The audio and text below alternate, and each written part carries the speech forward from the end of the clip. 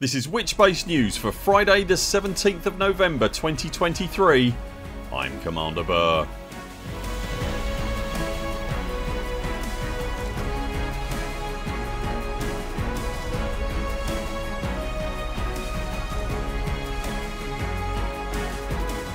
In Elite Dangerous news this week there's a pre-engineered mining laser up for grabs in this week's community goal Frontier cancel November's Frameshift livestream and as Taranis prepares to lose control of its last systems there's a terrifying hint in a Galnet news story.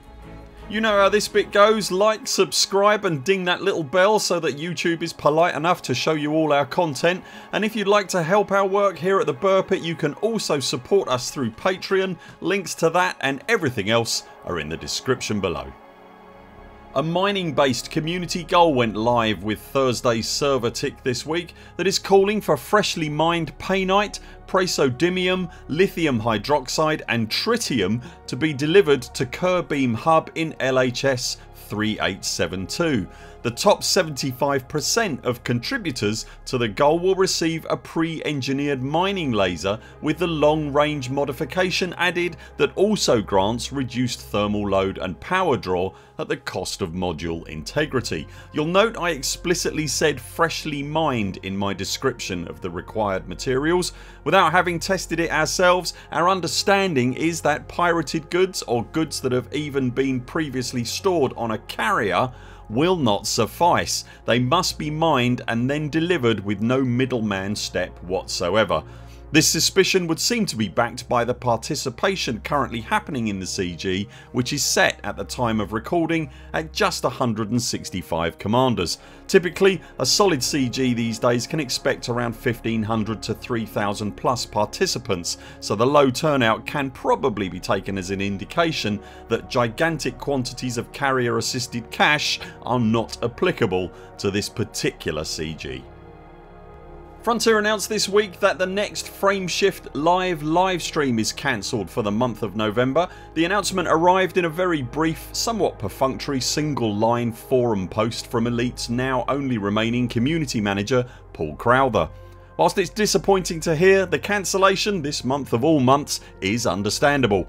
Long time Elite Dangerous players will doubtless remember the heady days of yore when Elite Dangerous had no less than 5 dedicated community managers, a weekly not occasionally monthly live stream schedule and a regular weekly newsletter those days are very much not these days however and Elite Dangerous finds itself in very different waters indeed as Frontier Developments itself is wrestling with the double whammy of challenging industry conditions plus some of their own well documented financial woes.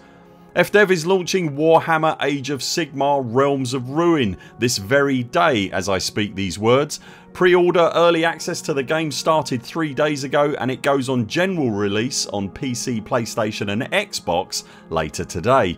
It is therefore understandable that the almost singular focus for the outward face of the company right now would be their new first time foray into real time strategy with Elite's community manager Paul Crowther also working on Age of Sigmar alongside Arthur Tolmie.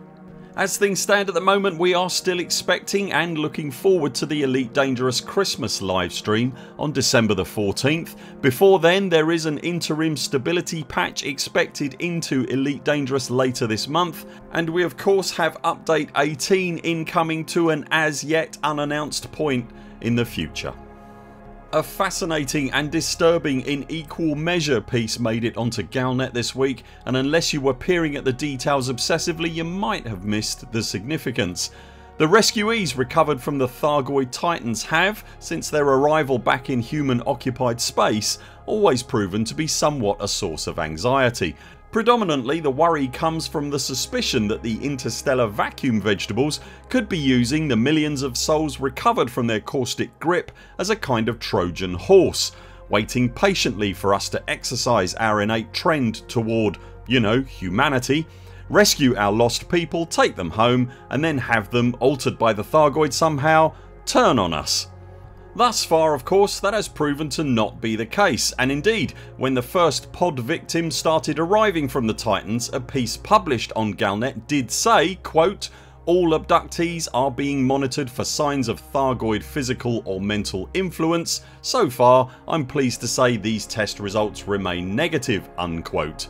That article also stated that the abductees were, whilst still in quarantine, being granted visits from relatives and access to comms networks. Fast forward to this week where Imperial researchers are now stating that tested abductees are showing quote clear evidence of an autoimmune response unquote and further that this quote qualifies as evidence that these individuals have been altered in some way by the Thargoid constructed bio-storage capsules unquote. One Imperial insider being so panicked by this revelation they're even calling for the abductees to be euthanised should they display any further signs of mutation. Harsh much? The mass extermination of traumatised abduction victims aside there is clearly something more here there has long been the suggestion within the community that the abductees could be something akin to Terminator infiltration units or Borg being sent to assimilate from within and the line we're now seeing indicating that the victims have indeed been altered even on such an apparently subtle level should be cause for concern.